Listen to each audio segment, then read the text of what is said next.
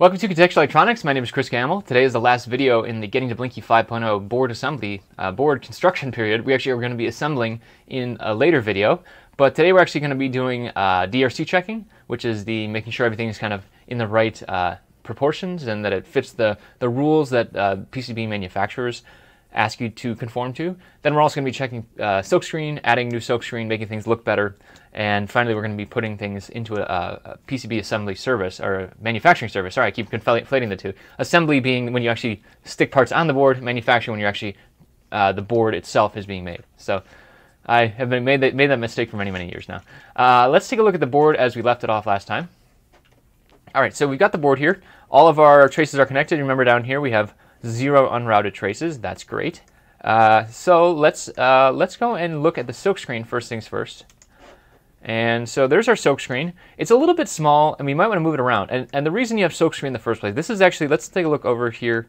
This is what the silk screen looks like. It's going to be printed in white on these boards that we're going to get. And it's actually a printing process. It's very similar to, you know, like a silk process. Silk screen process that might go into a t-shirt or something like that. It's basically just squeegeeing paint through through a, a uh, aperture, and then that looks like this. Sometimes it's done like that. Sometimes it's done with an actual printer these days. Depends on the process at the main PCB manufacturer. Um, but what we want to do is we want to modify this so it's easier to read. One thing, I might just want to make this consistent here. So I just click this, drag it over here. That's fine. Uh, and we could also go and we can change, um, let's see what our design rules are at. Ah, so I'd actually made, sorry, I made these design rules a little bit bigger here. Uh, these were set at 1.0, so I had moved these to 1.2, 1.2 in a previous version of this video. So this, I, I uh, like I said, I made the text and graphics. So we're in the board setup, which is up here. And I had changed this to a little bit bigger here. You'll see that all of these actually are the default one, one millimeter. And so I'd already changed that uh, to a larger size. But what I want to do now is I want to go and actually change all these. It, just changing it in the board setup doesn't actually do anything, right? So, you know, even if I change this, let's say, let's make it something even bigger here, right? So if you make this 1.3, 1.3, uh, nothing actually changes, right? The size is actually the same of all these things. We need to actually go in and modify them individually. Either we have to go in and change them individually, or we can modify all of them at once. And we do that by saying footprint references, and then not set to specified. We could set to a specified value, but I'm going to just set it to the layer default, which is what I just changed there. And you see now these are bigger.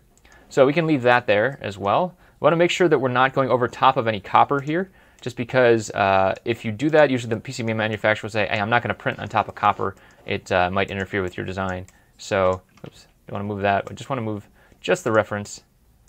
So I'm just clicking and dragging. You can also mouse over and hit M as long as nothing else is selected. So if I'm just selected anywhere on the board here, and I mouse over hit M, it should move that reference. If you're near, if you're in between two things, it might try and say, hey, wait, what are you actually pointing at here? Like here, I think it might say, what are you trying to point at? Yeah, it's saying, are you pointing at the reference of the battery or the, the U1. I thought it was also going to grab the part itself, but in this case it's just the, ref, uh, the reference itself. We can move that up. And then these last two as well. Oops. All right, so um, great. So we've now got our, we take a look over at a 3D model. I think that this is great for, for making this a little bit more clear, easier to read. Uh, oh, actually, we have the backside as well. So we haven't actually looked at the backside yet. And you see this one actually is printed on the copper. So uh, let's do that. We can, again, I think I showed this in a previous video. We can do flip board view, and if we want to get just see what's on the back now, we might select footprints back, oops, uh, back copper rather. So now we see the back copper. This is actually the orientation we would see it on the board. And then if we select back paste, or back uh, silk rather, now we see this is actually what it's talking about there. So we might want to just move this up. And you do need to do the flip board view because literally it's like what we're doing here where we're flipping the board around. Uh, KiCad's going to give you the reference point, you know, so when you're looking kind of through the board, which is what we were doing before, everything's going to be backwards, right? So if I do it, getting a flip board, this is going to be the front side. Now this is the front side view of the board. We're just kind of looking at the layers on the back of it. And that can be a little confusing. I really do recommend looking at the 3D model. I think that that really helps things. All right, so next thing I want to do is I want to add, uh, let's add some text here. So I'm going to say getting to Blinky 5.0. You can say whatever you want here. This is, again, it's using the default width. And so we're just going to put this right here. Usually I put my name down here, made by Chris. And now if we go look at the 3D model, should update as well. All right, and that's great. So we've got uh, basically all the markings we might want to have here now. Um, and that makes things easier for assembly. Now the one thing we don't have is, and you can see that these are actually, they're marked as visible, but usually they don't come through. So these are actually the values. And so normally I, uh, I make all these things invisible. And I, again, I'll show you that, that, uh, that dialog to change things. So I'm going to say footprint values, just select that, and then you see that this is saying, hey, some of these are visible, some of these aren't. I'm going to say make them all invisible. And now they're all gone there. Um, it's not necessarily that they're going to come through to the PCB process, but if they're showing in the diagram, they might come through. Now you also see there's other kind of markings in here as well. What are these things? Text C1. Uh, this is actually the fab layer. And so these are just, these actually do not usually get pushed through. And that's usually used if you're doing an assembly. Um, if you're doing an assembly, you might send a, the fab layer to the assembly house because you might not have everything marked in silkscreen, right? So say you had a component that you just couldn't fit the silkscreen next to, you, uh, they want to know which one's which, and this one would say, hey, this is C1 here, place the C1 here, and that's what the fab layer is good for. So we've got all these things now. Uh, one thing we didn't do yet is we need to do DRC. Now DRC is basically checking against your design rules, which are here. So the design rules are something we set up early on. And remember I said that we were going to set these to point, uh, we have everything else set to 0.25, but our absolute minimum is 0.2, which is 7.87 mils rather. Um, and uh, so basically as long as everything is above that value, then it's going to be happy, including the distance from one thing to another. So let's just take a quick look at what that looks like uh, here. So if I start routing a trace here, you see two things. One, you see the, the thickness of the trace itself, that is actually 2.5 millimeters, 0.25 millimeters rather, and then around it is 0.2 millimeters. That's defined in those design rules up in the board setup, right? If I wanted to change these, so let's go and change these real quick. I'm going to change these back for sure. I'm going to say minimum. Uh, we're going to say actually not on the. We're going to leave the minimums the same, but we're actually going to change the net class. So the default net class is saying, hey, anytime I start drawing a new thing, what should it look like? Well, in the clearance, Let's make the clearance now something much bigger, 0.4. Let's make this much bigger as well. Fine. Okay. Now if I start drawing, we should see, we see 0.55 is now set as the default. And what we see now is that it's a much thicker trace and the amount that goes around it is now much bigger as well. Basically saying, hey, you can't go any closer. So it's basically saying, hey, you can't, you can't get this trace any closer to any of the pads that are not of the same net. And that's basically protecting you from uh, what will eventually be the the traces, uh, sorry, the the rules that the manufacturer is going to be using. And so we're gonna, so I'm going to go switch all these back. Again, these are these are the default net classes here. So our default was 0.2 millimeters. That was what uh, our clearance was, saying you can't get any closer than 0.2 millimeters. Our track width is 0.25. That's how thick the the default trace is going to be when we start drawing any trace. And again, if we go back here, you see now that's shrunk back down again. If I hit B, it actually should probably redraw all of these net, or sorry, the, uh, the ground plane and the power planes as well. Well, maybe that was set elsewhere, but these are actually, if you want to change those, you mouse over the edge of the, uh, the plane itself. There we go. And now we can actually change that here. You see our clearance uh, set much, much higher. So if we wanted our clearance to match what it was on the rest of the board, we could say the clearance is 0.2 and the minimum width 0.25. And basically that's the same kind of setup now as we would have had. And now we should see that's on the front side. Let's do the same thing here so we can actually take a look at this. So let's actually take a look at uh, the setting, how the settings have impact this right here. So this is actually the, the spoke clearance as well. Uh, zone outline. So I just moused over anywhere on the, the actual red. And then um, let's do the same thing. So again, watch the watch how it redraws the power plane. Uh, two five. And these are just set for the default in inches for some reason. Thermal clearance, we'll do 0.2, and then print thermal spoke width. So basically this should match. And we'll see everything kind of should shrink down. Here we go. Oh, spoke relief must be greater than the minimum width. Minimum width here, aha. Yep. Mm-hmm. Uh, how about that? Thermal, spoke, thermal relief spoke must be greater than the width. I think I would have known that by now. Okay. great. that kind of was anticlimactic because of how I did that, but these are, you know, just Control Z and Control Y, uh, which undoes, redoes. There we go. So you see how that kind of shrinks down there. And you could play around with that to see how these things uh, play nicely. I actually usually like a much thicker uh, thermal spoke. So um, I actually went the wrong way there. I should have done like that. There we go. So a much thicker spoke usually. That just gives more connection to a pad like that. Okay, great. So uh, now we can go and check. Now again, our design rules are set to be these absolute minimums. Can't, can't be any lower than that, right? So our minimum track width is 0.2. The minimum via size is 0.4. Let's go into hit run DRC. No errors. Let's go and uh, trigger an error just to say that we've done it. So we're going to mouse over, hit a trace, and actually change it deliberately to 0.15 and you see how thin that is now. Let's also make this uh, this via much, much smaller. Let's make this 0.2 and 0.4, uh, 0.3 actually I think was the minimum. So you see that's, that's really small. Um, now let's run DRC again. Now it says, hey, wait a second, this via is too small and your track width is too small as well. And you see it's because I, uh, I did that. Now I can go and delete all markers just so they don't show up here. Close this. I'm just going to undo the dialog and then I'm going to run it again uh, refill the zones. And we're good. All right, so let's take one more look at our 3D model here. So this is what it all looks like now with all those traces kind of closed in there. We should still be good. Uh, remember, 0.2 millimeters is uh, 0.7, sorry, 7.87 mils. So we should still be good for um, for sending off to uh, a board house. And so let's go and do that now. We're gonna do that in two ways here. First one is let's go look at uh, this is one of my favorites. It's here in the States. Uh, so for five bucks an inch, square inch, which is about what we did, this is just going to be a little bit more. Uh, so we can actually go and just drop the files directly on top of this uh, of this uh, directory of this. what am I saying here? Of, of the top of this this uh, web web window. So here's our, our directory that we had going on. And what we need to do is just drop basically the KiCad file. So that's the KiCad uh, .pcb, dot KiCad PCB. Drop it on top of here. And a couple other uh, manufacturers are doing this now.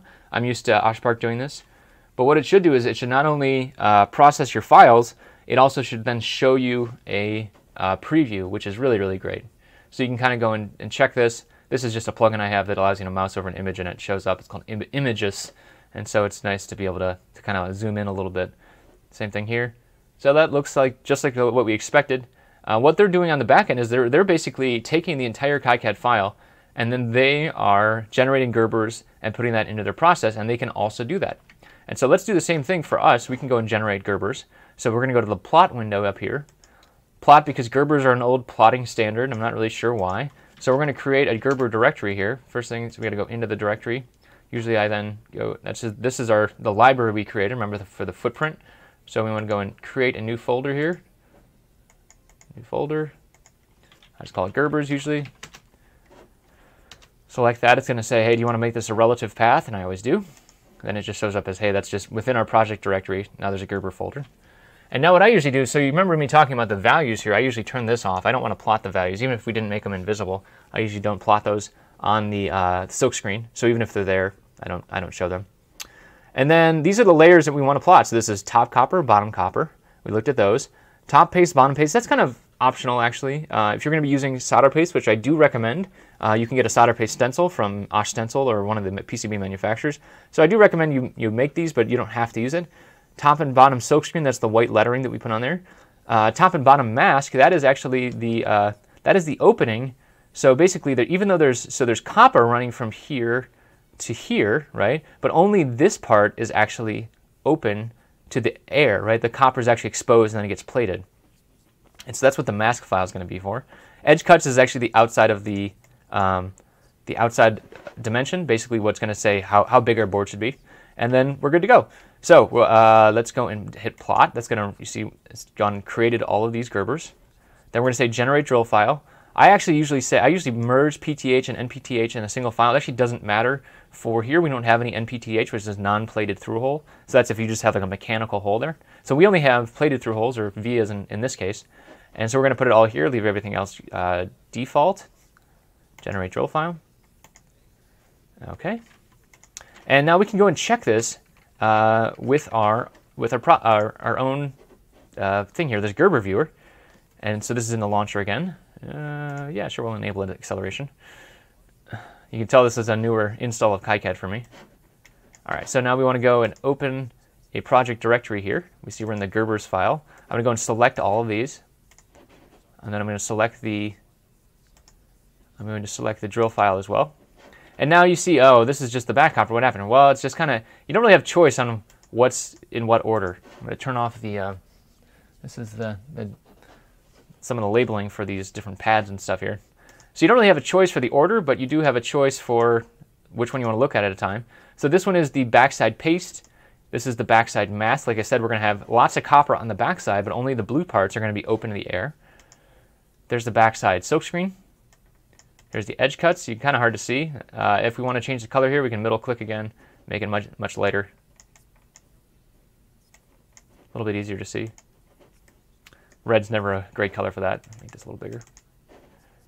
All right. And then let's keep going down here. Uh, let's look at the front side copper. This is the front side mask. And again, this is kind of showing that difference between the front side copper and front side mask there.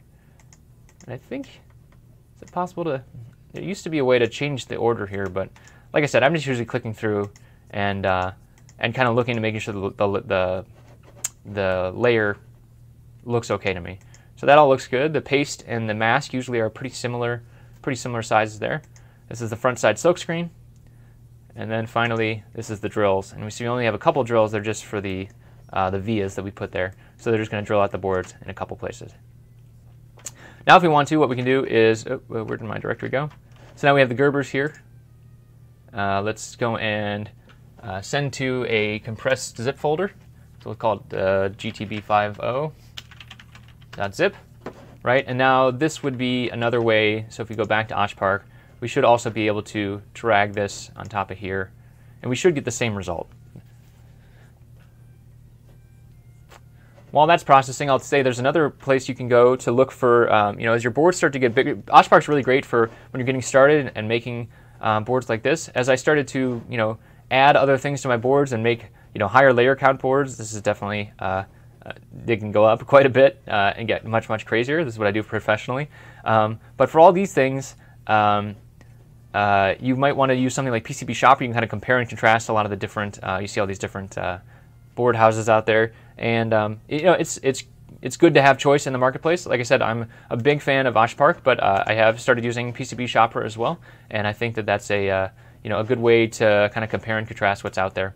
So wanted to make sure we, do both of that. So uh, we have our board here, right? You can basically uh, put it in to OshPark, and you can add descriptions. Oh, you have to add an email address. I'm not going to do that here, but basically just go through and now it's just a purchase process. It's like I said, this is going to be 745 for this board because it's not quite a one square inch, uh, but that actually includes shipping for three boards, so pretty good deal there. Um, it's just that battery holder, man, that thing's a little too big for us. I guess I could have gone diagonal, but uh, yeah, whatever.